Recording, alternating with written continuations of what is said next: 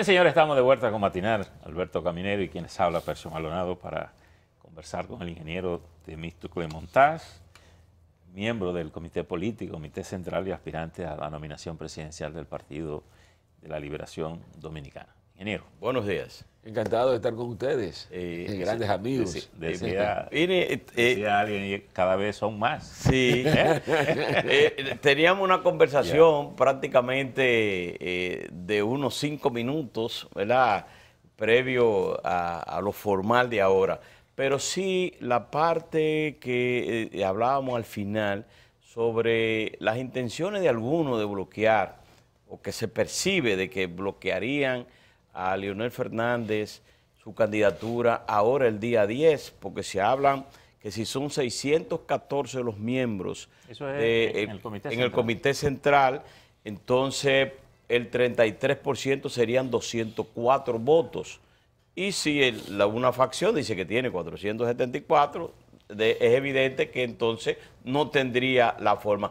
¿Usted cree que eso es posible o, o usted cree que debe ser lo que, veni- lo que viene dándose últimamente en el PLD, que es que presentan a todo el mundo? Mire, estos son todos los candidatos, que, que corran todos. Sí, no, yo creo que la, la, la posición que se va a adoptar en la reunión del Comité Central es permitir que todo el que tenga aspiraciones baje. Es, decir, se inscriba. Se inscriba, se inscriba. No creo que haya ninguna, ningún movimiento orientado a entorpecer que el compañero Leonel Fernández se inscriba. Creo que sería un grave error porque eh, lo convertirían en una víctima.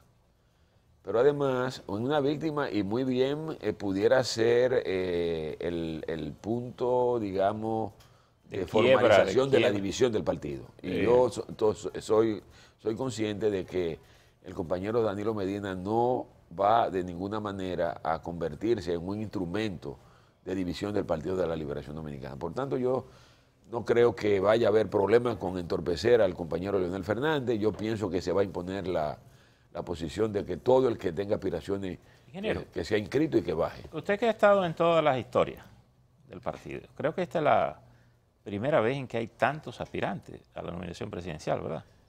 Sí, ha habido otra coyuntura no, en la que- hay- hay- esta es la primera vez que hay, que hay tantos Que aspirantes. tantos. Hay tantos aspirantes. Bueno, en, en en, el ocasiones anteriores, tres. En el diseño de, la, de, la, de la ley, de la ley, de la ley, en el diseño que ha hecho la Junta sobre el voto automatizado, hay espacio para 15 caritas. Sí, Es decir, por tanto, no, no podrían ser más.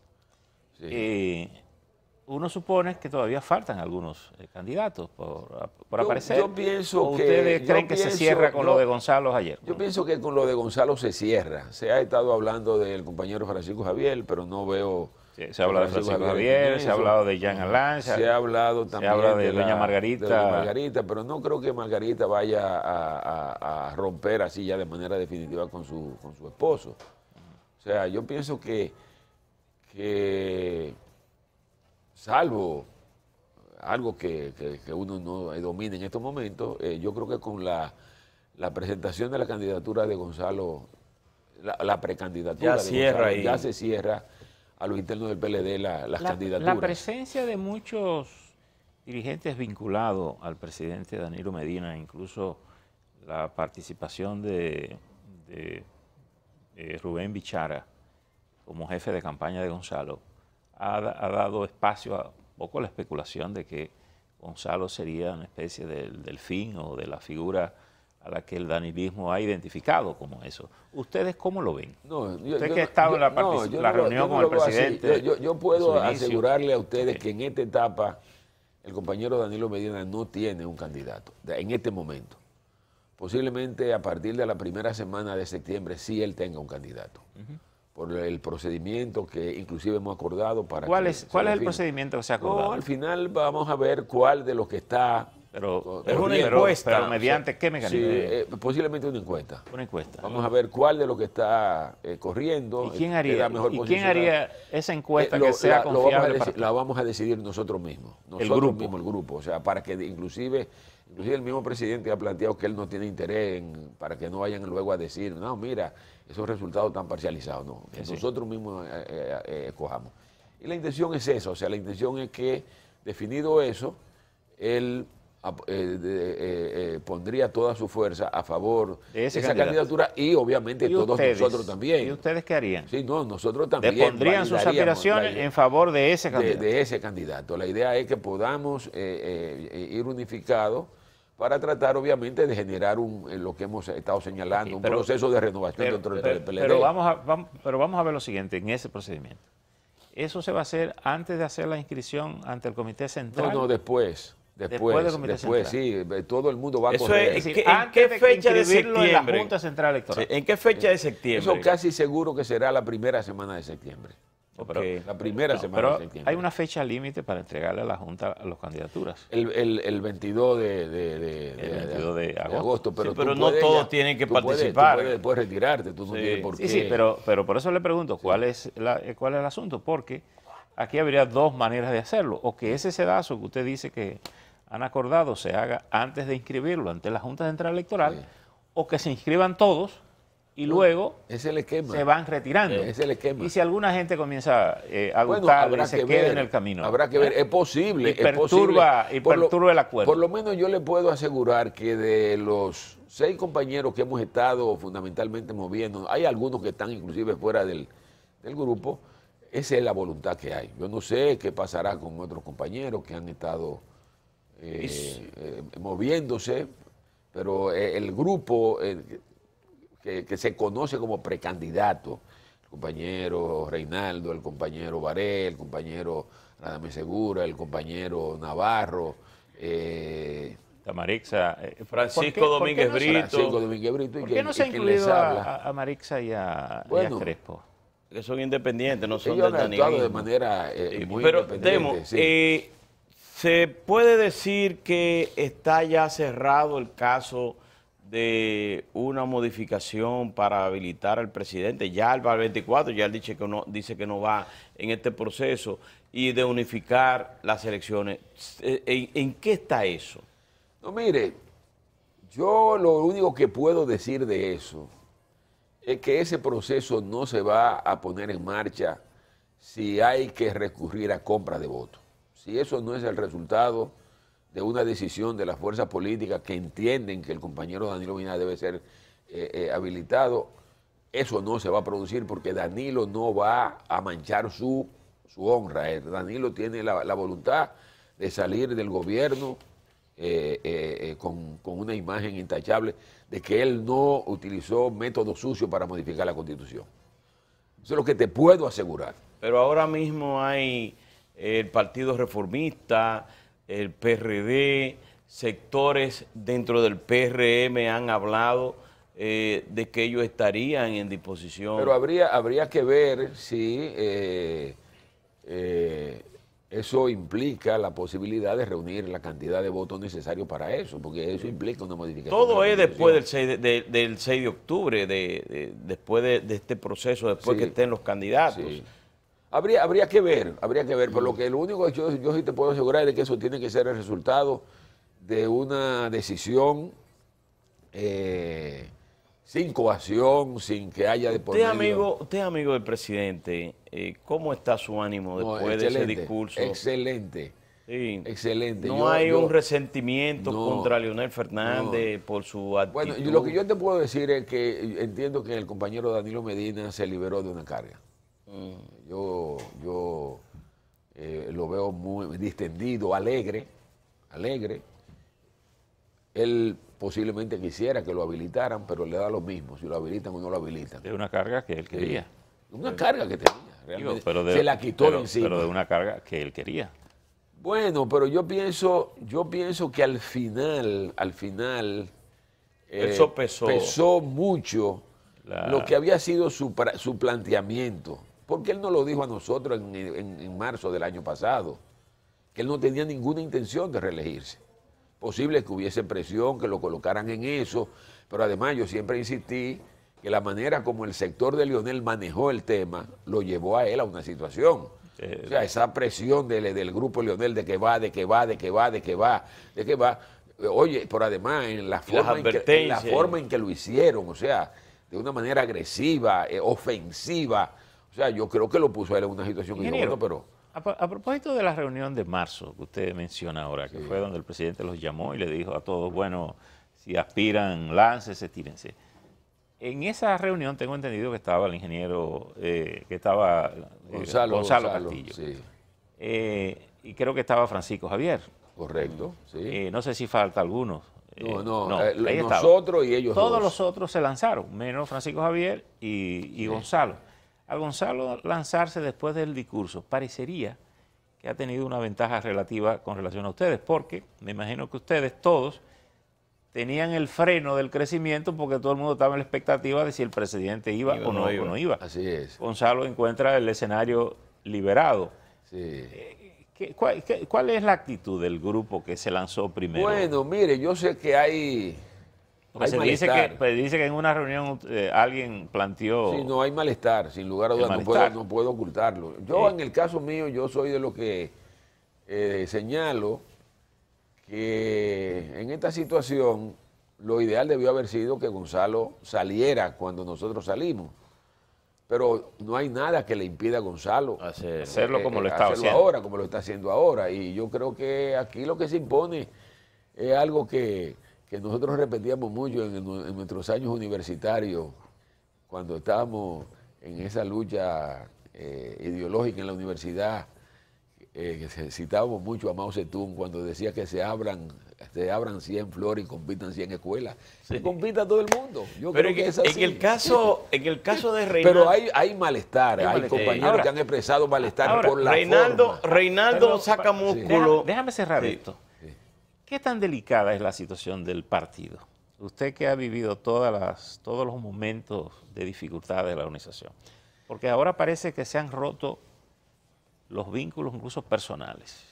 Sí, mire, la situación del partido no es buena, no es buena. Y yo he señalado de manera reiterada que, eh, todo esto viene porque el PLD desde hace ya varios años eh, ha dejado de ser una institución en el sentido real de la palabra, tal y como nosotros la concebíamos.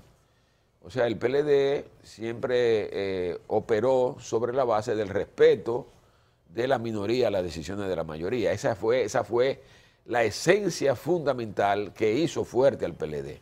O sea, lo que llamamos el centralismo democrático. Da da es, penoso decir que quien rompe eso es el presidente del partido. El presidente del partido rompió lo que era una práctica histórica del PLD, de que la mayoría, la minoría tenía que aceptar la decisión de la mayoría y eso ocurrió Ustedes recordarán en abril del año 2015 cuando el comité político decidió dar los pasos para eh, iniciar el proceso de reforma para que Danilo se religiera en el 2016. A partir de ahí, el PLD ha dejado de ser una institución y he dicho muchas veces que el PLD ya hoy es un partido con líderes pero sin dirección, con dirigentes pero sin dirección. ¿Por qué? Porque ha dejado de ser una institución al punto de que en los famosos acuerdos de eso que se mencionan, que ustedes lo han oído mucho mencionar, que al final se habla de que para tomar una decisión en el comité político hay que tener el 75% de la matrícula. O sea, ya no es la decisión de la mayoría más uno, el voto del 50% más uno, no hay que el 75%. Todo eso, imposición del compañero Leonel Fernández para validar la reforma en el año 2015. Entonces, a partir de ahí, el PLD ha dejado de ser una institución y ustedes lo, lo pueden apreciar en el hecho de que el, el comité político se reúne eh, eh, esporádicamente. han habido momentos que hemos durado seis meses sin reunirnos. Nosotros debimos habernos reunido. En esta crisis de... Nosotros debimos habernos reunido el primero de, este mes. No nos reunimos el primero de este mes. Yo no sé si nos vamos a reunir el, ahora. El, lunes. El lunes. yo no lo sé. Pero, pero hasta ahora no nos han convocado. Precisamente eh, en relación a los acuerdos que usted habla del comité político, usted es miembro del comité político, que tienen en fecha no así no lo han convocado, pero sí tienen fecha de reunirse el próximo lunes, que es el primer lunes del mes de agosto. Claro. Y frente a que en 16 días debe de asumir la presidencia de la Cámara de Diputados una de las figuras que fue escogido y señalado mediante un acuerdo. ¿Usted cree que eso se va a cumplir después que algunos... No, yo no creo que, yo francamente no creo que se vaya a cumplir. ¿No cree que se vaya a cumplir? No creo que se vaya a cumplir. ¿Y por qué? Eh, porque la expresión de la división del PLD. El PLD es una división. Y la evidencia está en que en el PLD, a nivel de la Cámara de Diputados, prácticamente han, operado como si fueran dos grupos diferentes. Han habido dos bloques. En el, en el PLD, en el Congreso, han habido dos bloques. O sea, un bloque que representa la posición del compañero Leonel Fernández y un bloque mayoritario que representa la posición de, los, de todos los otros, incluyendo al compañero Danilo Medina. Por tanto, eh, yo creo que eso al final es lo que se va a imponer ahora en la elección del bufete directivo, ese hecho de que eh, fundamentalmente el sector de Leonel Fernández se bloqueó e inclusive llegó a nombrar un vocero, llegó a tener un vocero, diferente al vocero que había elegido mayoritariamente el bloque. Entonces yo creo que eh, no, eh, no habrá manera de que se pueda respetar ese, ese y es la expresión de la división que hay en el PLD, que no, que no se puede ocultar, que si bien no se ha oficializado, no se ha materializado, está ahí. Ahora, ¿qué pasa con las figuras más emblemáticas del partido, que parece que estar como un, en un estadio tan, de tanto sosiego, como sin preocupación o todo el mundo afiliado? No, todo el mundo está preocupado. Pero, todo el mundo está preocupado. Pero parece que nadie acciona en una dirección pero de Pero es que se ha perdido la posibilidad de accionar porque no hay árbitro. Es que se ha perdido el arbitraje. Ustedes no pueden perder de vista. No es casual que en la ley de partido, para que ustedes entiendan la lógica de todo lo que está ocurriendo, no es casual que en la ley de partido se establezca que la Junta Central Electoral es la que debe dirigir el proceso interno del, del PLD. Eso no es casual. Es que en el PLD se perdió la capacidad de arbitraje. Nadie cree en nadie. Y como nadie cree en nadie, vamos a tratar de lograr que una institución creíble, y se entiende que la Junta Central, eh, Junta Central Electoral es creíble porque es la que dirige los procesos electorales, maneje estos procesos porque como, yo te diría, se ha distorsionado todo dentro de la organización. Hasta el comité político es una es un organismo que no tiene... Pero, eh, eh, está dividido. Donde, el comité político está totalmente dividido. Y yo digo que en el comité político el que no aspira lo aspiran. Y si todo, y si todo el mundo ahí está aspirando o al que no lo aspiran, ¿Qué capacidad de arbitraje puede haber? ¿Dónde, ¿Dónde fue que se puso ese, esa decisión del 75%? ¿En los acuerdos del 15? En los acuerdos del 15. ¿Está, está considerado...? Está considerado que para tomar decisión dentro del comité político hay que tener ese, y el de la matrícula, eh, no, Es de, no, es de, lo que están presentes, de la matrícula. De la matrícula, que, si, que si son 35 miembros, hay que tener por lo menos 26 o 27 miembros para tú poder tomar una decisión. Una decisión en una dirección. Por eso el partido nunca conoció el tema de la modificación constitucional ahora? Es, posible que esa fuera una de las razones, aun cuando yo pienso que, que si, si, hubiese conocido era muy probable que se lograran la, la, el 75%. ¿eh? Yo creo que Danilo tenía la posibilidad de, haber logrado en el comité político. la estrategia del, del, de, la, de, los eh, reeleccionistas no, no se montó del todo correcto. un poco yo, yo pienso, yo pienso que hubo fallas ahí. Que hubo fallas no se, no se pensó en un plan B. Hubo un plan A, pero no se pensó en un plan B. Pero si se hubiese hecho, eh, por ejemplo, en marzo de este año, eh, se hubiese logrado, porque lo dejaron todo al final y, ya no tenían la forma de, conseguir esos votos, no tenían el, eh, aval del comité político. Porque nunca, nunca, nunca, lo convocaron. O sea, el Comité Político nunca se, reunió para discutir el tema de la modificación constitucional. O sea, yo pienso que si se hubiese planteado muy probablemente eh, el compañero Danilo Medina hubiese logrado el aval del comité político. Yo creo que ese, ese pudo haber sido también un, un, error, pero yo creo que estaba de por medio también el hecho de que se sabía de que si, si eso se discutía en el comité político, eso automáticamente iba ya a oficializar la división del Partido de la Liberación Dominicana porque el compañero Leonel Fernández se iba a retirar, inclusive de la reunión del comité político, no iba a permitir que eso se tratara y ya eso automáticamente implicaba la ruptura del PLD. Ingeniero, eh, ¿el PLD está seguro que se mantiene en el poder o ha considerado la, la opción de que salga derrotado en las elecciones que vienen? Yo diría que lo que va a ocurrir va a depender mucho de cómo culmine el proceso de selección del candidato a la presidencia de la República. Eh, yo he señalado de manera reiterada, eh, lo he dicho frente a mis compañeros del comité político, lo que hablo con frecuencia, que una de las cosas que ha ocurrido y que lo- los compañeros dirigentes no le han prestado atención es que este es otro país. Este país ha cambiado. Este no es el país que nosotros encontramos en el año de 1996. Bueno, si usted mira alrededor de nosotros, Claro. esta es una, Claro. una Yo, ciudad. yo simple- simplemente eh, eh, eh, digo lo siguiente. Bueno, de- Aquí se ha dijo- generado- Dijo, alguien que lo- los partidos lo han cambiado y no se han dado cuenta. No se han dado cuenta. Sí. Aquí hay ya hoy, hay una, una clase media vigorosa, hay aquí una clase media pujante. Y yo he señalado que en el caso concreto de la clase media, eh, eh, su, su- su demanda ya no es arroz y habichuela, o sea, ya tú no puedes hacer campaña sobre la base de que te voy a dar la comida o te voy a dar... No, la clase media ya te está, te- está exigiendo No, eh, la- eh, la- calidad La de la expectativa de la gente son de... de otro, de, de De otro otro nivel. nivel. de otro nivel. Y, pero por encima de todo, buen gobierno, buen gobierno, que es un Sí. elemento fundamental, buen gobierno. La estabilidad aquí- económica, aquí Da la política. impresión de que creemos todavía que estamos dirigiendo un país de los años 90, de los años... O sea, este es otro país. Aquí eh, yo venía ahora eh, eh, viendo unas informaciones sobre eh, la cantidad de vehículos que hay en la República Dominicana.